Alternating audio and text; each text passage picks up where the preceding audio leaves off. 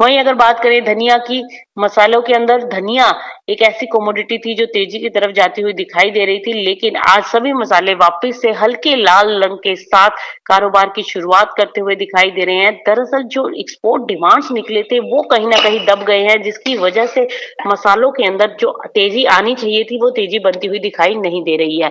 लेकिन trend positive है, अभी भी जो एक उम्मीद है कि फेस्टिवल सीज़न में डिमांड पिकअप हो सकती है, उसके चलते एक बाउंस बैक आ सकता है। धनिया की बात करें तो नवंबर वायदा अभी भी आठ हज़ार के ऊपर है। नीचे में अठहत्तर सौ लेकर ऊपर में बयासी की रेंज फ़िलहाल धनिया के अंदर देखने को मिल सकती है।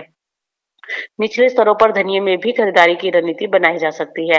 धनिये के साथ साथ हल्दी हल्दी फ़िलहाल बाइंग से दूर रहें क्योंकि अभी इसमें बहुत ज़्यादा मोमेंटम आता हुआ दिखाई नहीं दे रहा है। लगातार हम देख रहे हैं कि बहत्तर से लेकर चौहत्तर सौ पिछहत्तर की रेंज में कारोबार करती दिखाई दे रही है। तो फ़िलहाल हल्दी के अंदर इसी रेंज में ट्रेडिंग एक्सपेक्टेड है कि आगे एक हफ़्ते तक देखने को मिल सकती है। हल्दी के अंदर फ़िलहाल बाइंग को अवॉइड करें।